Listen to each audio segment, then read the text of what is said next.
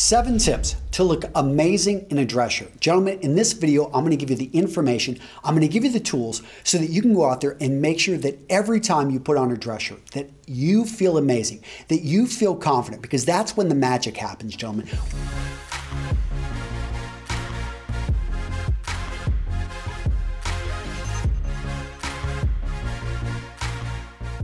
So in each of these points, I'm gonna go into a little bit of detail, but if you want more, go check out the support article. I'm gonna link to it down in the description below. All right, gents, before I get too deep into this, I want to talk about the shirt that I am wearing in this video. I had it made over at Tailor Store, and they have got an awesome discount for you. So here's the shirt I had made. You notice that small dot pattern? It's hard to see in the video. And what I love about this is I was able to take my favorite shirt, replicate it for an amazing price. And guys, they have, a, I can't talk about the discount. I can just say this is one of the biggest discounts I've been able to bring you guys in a long time. Here are the three shirts I had made. They're gonna you're gonna see them on the page. I'm gonna send you to. Uh, this one, the Theo Dark Blue this one is in my wardrobe. You see me wearing it right now. The Edward, this one right here, funny enough, I hung out with my friend Aaron Marino. He saw I was wearing this shirt and he's like, I got that shirt in my wardrobe. This other one, the Bart, classic. Look at that right here. Very classic fabric. And I can tell you the prices over on their website are great, starting at $69. That doesn't include the discount that we're about to give. So definitely go check them out. You can build your own shirt. It's very easy. I'll talk about them in a later video, how to use basically this online builder to build the perfect shirt. But for now, guys, let's get into the seven tips. Tip number one, get the perfect fit. So this is key, gentlemen. First, you want to look at the shoulder points. Make sure that the shirt fits you. If you're buying off the rack, that it fits you in the shoulder points. This is very difficult to adjust. It's not even almost worth it. At that point, make sure that you've got, you know, look at the chest. You want to have probably about one and a half to two inches of room. If you're a bigger guy, you're going to want more. If you're a smaller man, you're going to want a little bit less. Then look in the torso. This is going to be the easiest place to adjust. They can often put darts in the back so they can bring it on the side. Here you want to have probably no more than two inches of room. If there's three or four, they can probably bring, bring it in. Understand though, there are limitations to adjustments that Tailor can make. They can shorten sleeves, but the cuffs, they really aren't going to change the size of the cuffs. So if you buy a shirt that's way too big and those cuffs are gigantic or misproportioned, then the shirt is never going to look right. So these are the things that you're looking for on a great fit. When you buy off the rack, make sure that you try it on and that it's as close to a good fit or a perfect fit as possible. Although pretty much anything bought off the rack will have to get adjusted. Now, that's going to cost you, you know, some cases quite a bit of money. So you may want to look custom. There are many options out there. And in this video, guys, I tested Tailor Store. And uh, one thing I loved about Tailor Store, besides their amazing interface, is that they actually had a perfect fit pretty much guarantee. So this is the second shirt they made for me. I loved this fabric. I loved the design.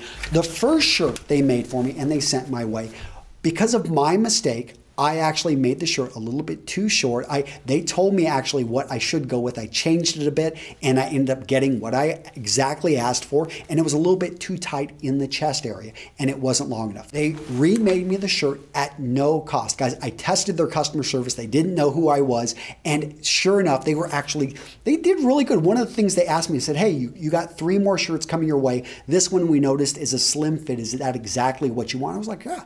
Pretty good customer service. But the thing is, when you go custom, make sure you get exactly what you want. Only have them make one item. That way, if they do make a mistake, and this applies to jackets, trousers, anything you have made custom, have them start with one. Tip number two to look amazing in a dress shirt is to focus in on the fabric. Now, if you're buying off the rack, you want to look for a fabric that is going to fill your core wardrobe. We're talking whites, we're talking blues, we're talking variations, mixtures of the two. I know for me, I love a dark navy dress shirt. Simply, it's not super dressy, but in my area, I can dress it down. It works with a lot of items in my wardrobe. It is a core item. And once you build up those core items for you, white dress shirts, light blue dress shirts, but you want to go for a pretty conservative wardrobe. Build up that base. And then from there, look, and this is really key, guys, look at what you wear. Look at what you are, you know, is on your back most of the time that you take with you when you travel, and then start to replicate that, making small changes in the fabric. Go for variations. So if you find you love your light blues, well, maybe go for something with a herringbone uh, pattern in it, or maybe with a twill weave, maybe something with a small, uh, it looks like light blue from a distance, but it's actually white with very small blue dots on it. But you're going into variations of the fabric here, and this is where your wardrobe, you've gone from the base and you're starting to really bring in just some amazing uh, patterns and colors. It's going to be a little bit harder if you buy off the rack because oftentimes they're just trying to sell as much as they can, so they don't really experiment too much with fabrics. And then when you find a fabric you like, you got to make sure that you can get the fit. Custom, this is where custom really sets itself apart. Tip number three to look amazing in a dress shirt is focus in on the collar, gentlemen. You want to make sure that it is a great looking collar, that it's not one that's going to fall apart. Instantly, when I'm looking at a collar, I'm going to look underneath and I'm going to see are there removable shirt stays. Right there, that will tell me the quality of the shirt. Now, there are some decent quality shirts that do not have removable shirt stays, but I like to see that because what it allows me to do is to stiffen up the collar and just to give it, I think, a much nicer look. Now, you're also going to want to look at the style of the collar. If it's a classical point collar, that's made to be worn with a necktie. So if you don't like to wear neckties, don't go for classic point collars. Instead, start looking at spreads. Spreads still work with a necktie, but what I like about a spread is it keeps the collar points out of the way when you're wearing it without a necktie. Again, it's going to be a much nicer look, and actually, spreads are going to be less common. You don't see them on a lot of big manufacturers whenever they're doing the big runs. They just know that for a lot of guys, they're going to stay away from this. It doesn't work as well if you've got a really round face, uh, but if you've got a normal shaped face, if you've got a thin face, a spread collar looks great.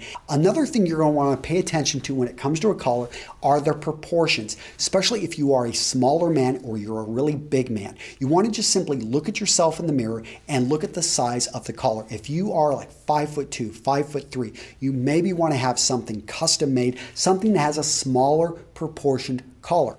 Tip number four to looking great in a dress shirt, focus in on the cuff. Now, the cuff is not, in my opinion, as important as the collar. It's farther away from the face. But whenever you wear a jacket, guess what they see? They see this part and they see the edge of your cuff. Cuffs also you can have a lot of fun with on the style. If you buy off the rack, not as many options, although you can find some such as French cuffs and maybe a few different types of barrel cuffs. But I really like custom because all of a sudden you can start going with two button cuffs. You can start going with variations of French cuffs. And yes, you can wear French cuffs without a jacket. The point is, is you can have fun with the cuffs and they can become an integral part of the shirt style. The fifth tip, pay attention to the buttons. So look at the buttons on this shirt. Notice how they're dark and they actually work with the shirt. They don't really stand out. Imagine if these were white. Imagine if they were mother of pearl. But I could simply change out the buttons on this shirt with a white mother of pearl and it would have a totally different look. Tip number six, focus in on the quality build of the shirt itself. So these are a few things that you can look for. I already talked about in the shirt collar, looking for the removable stays. That there, right there, is a great indicator of quality. But I can look on the inside of the shirt. And I'm gonna look at the stitching. I wanna be looking for at least 14 stitches per inch. I wanna be looking, making sure there's no loose threads. Things like that to me are a sign of poor quality. When I just see that they didn't pay attention to the inside, you wanna look at the buttons. Make sure that none of them are coming frayed. You want to look at the, you know, how tight they are. Make sure that they've actually got extra buttons on the shirt, so in case you pop or you lose a couple buttons. I look for areas where it could tear or where it could break. Make sure there's reinforced stitching. Go down to the bottom of the shirt and you want to look at the gusset. Small things like that pay attention to those details because if they paid attention to those small things, then they also pay attention to the big things like the mills that they get the fabric from or at, you know the customer service. To me, it is all tied together.